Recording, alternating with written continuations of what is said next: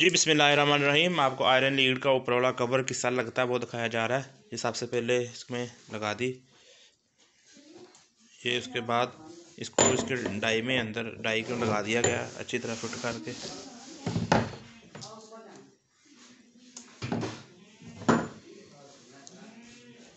और ये लगा के इसके ऊपर डाई लगा दी।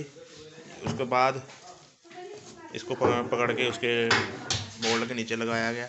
ऐसे। और ऊपर से ये माल भर दिया।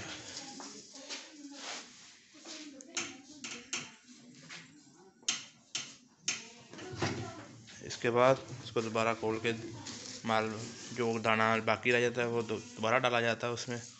डाल के चेक किया जाता है कितना माल है बाकी।